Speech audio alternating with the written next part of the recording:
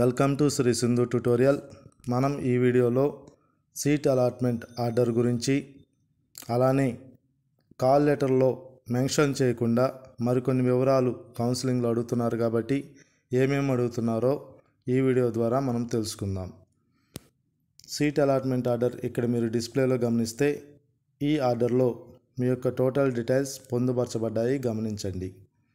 Certificate verification పూర్తయిన తర్వాత admission నెంబర్తో కూడిన సీట్ అలాట్మెంట్ ఆర్డర్ ఇవ్వడం జరుగుతుంది.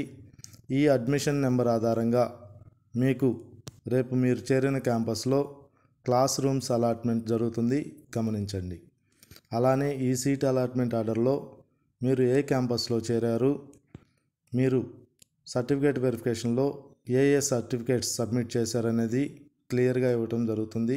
గమనించండి. ఇక పోతే కౌన్సిలింగ్ హాల్లో కాల్ లెటర్లో మెన్షన్ చేయకుండా మరికొన్ని వివరాలు అడుగుతున్నారంట. అవేంటివో ఒకసారి గమనిద్దాం. ముఖ్యంగా మదర్ యొక్క బ్యాంక్ అకౌంట్ నెంబర్ ఆ అకౌంట్ నెంబర్కు సంబంధించిన ఐఎఫ్ఎస్సి కోడ్ అడుగుతున్నారు. ఈ వివరాలను తీసుకుని వెళ్ళండి. అలానే మీ గ్రామ వార్డు సచివాలయం యొక్క నేము సచివాలయం కోడ్ అడుగుతున్నారు. ఈ డీటెయిల్స్ని కూడా తీసుకొని వెళ్ళండి. ఇక క్యాండిడేట్ యొక్క ఫొటోస్ ఫైవ్ అడుగుతున్నారంట. ఈ ఫైవ్ ఫొటోస్తో కూడిన ఫైల్ను మీరు రెడీ చేసుకోండి. అలానే ముఖ్యంగా ఆర్జీయూకేటీ సెట్ యొక్క హాల్ టికెట్ని కూడా అడుగుతున్నారు. సో ప్రతి ఒక్కరూ ఆర్జీయూకేటీ సెట్ యొక్క హాల్ టికెట్ను డౌన్లోడ్ చేసుకొని మీ సర్టిఫికేట్స్తో పాటు తీసుకొని వెళ్ళండి.